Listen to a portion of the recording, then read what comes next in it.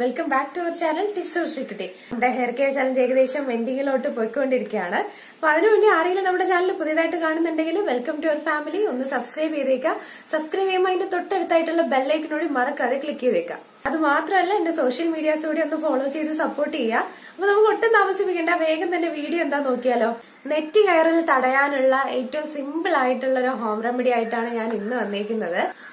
മൂന്ന് ഇൻഗ്രീഡിയൻസ് വെച്ചിട്ട് അതായത് നമുക്ക് വേഗം കിട്ടുന്ന മൂന്ന് ഇൻഗ്രീഡിയൻസ് വെച്ചിട്ട് എങ്ങനെയാണ് നമുക്ക് ആ ഒരു പ്രോബ്ലം പെട്ടെന്ന് തന്നെ മാറ്റിയെടുക്കുക എന്നുള്ളതാണ് ഇന്നത്തെ വീഡിയോ അതിനു മുന്നായിട്ട് നമുക്ക് നോക്കാം എന്തൊക്കെ കാരണങ്ങൾ കൊണ്ടാണ് ഇങ്ങനെ സംഭവിക്കുന്നതെന്ന് അല്ലെ?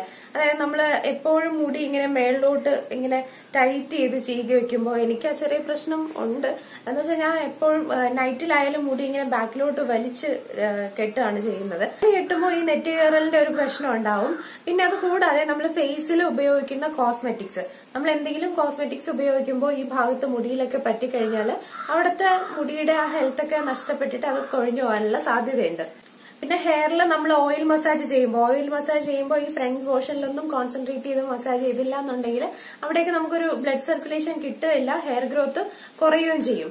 അങ്ങനെയും നെറ്റ് കയറിൽ വരാം. അപ്പൊ നമ്മൾ ശ്രദ്ധിക്കാതെ പോകുന്ന ഈ ചെറിയ മിസ്റ്റേക്കുകളൊക്കെയാണ് ഇതിന് കാരണം. അപ്പൊ അതിനുള്ള ഒരു സൊല്യൂഷൻ ആണ് ഇന്നത്തെ വീഡിയോ അപ്പൊ നമുക്ക് ഒട്ടും താമസിപ്പിക്കേണ്ട വേഗം തന്നെ വീഡിയോ ഉണ്ടല്ലോ ഈ ഒരു റെമഡിക്കായിട്ട് ആവശ്യമുള്ള മൂന്ന് ഇൻഗ്രീഡിയൻസിൽ മെയിനാണ് കാസ്റ്റർ ഓയിൽ അതായത് ആവണക്കെണ്ണ ഇത് ആവശ്യമുണ്ട്.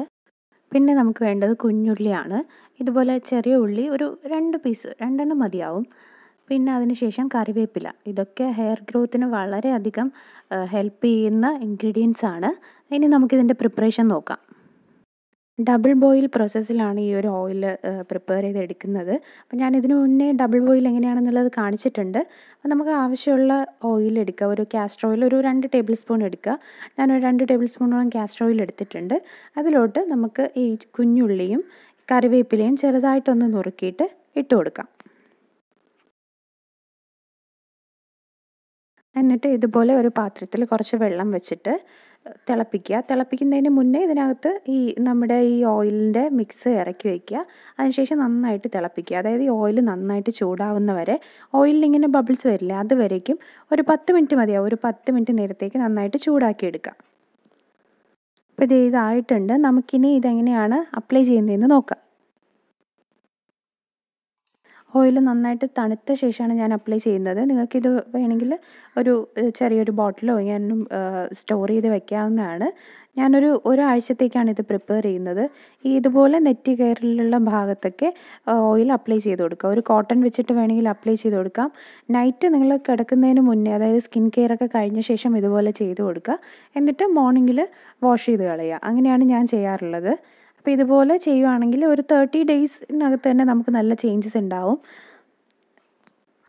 ഞാൻ മുടി കെട്ടുമ്പോൾ എപ്പോഴും ആ സൈഡിൽ സെക്ഷൻ എടുത്തിട്ടാണ് കെട്ടാറുള്ളത്. അങ്ങനെയാണ് ഈ സൈഡിൽ ഇത്രയും നെറ്റ് കയറൽ ഇങ്ങനെ വന്നത്.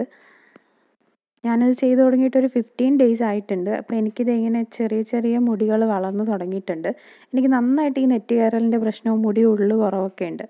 അപ്പോൾ ഈ ഒരു മെത്തേഡിൽ നിങ്ങളൊന്ന് ട്രൈ ചെയ്ത് നോക്കുക. തേർട്ടീൻ ഡേയ്സിനകത്ത് എന്തായാലും ചേഞ്ച് ഉണ്ടാവും. അപ്പൊ ഇന്നത്തെ ഈ ഒരു റെമഡി എല്ലാവർക്കും ഇഷ്ടമായി എന്ന് വിചാരിക്കാണ് ഇഷ്ടമായെങ്കിൽ വീഡിയോ ലൈക്ക് ചെയ്യുക ഷെയർ ചെയ്യുക ചാനൽ സബ്സ്ക്രൈബ് ചെയ്യുക.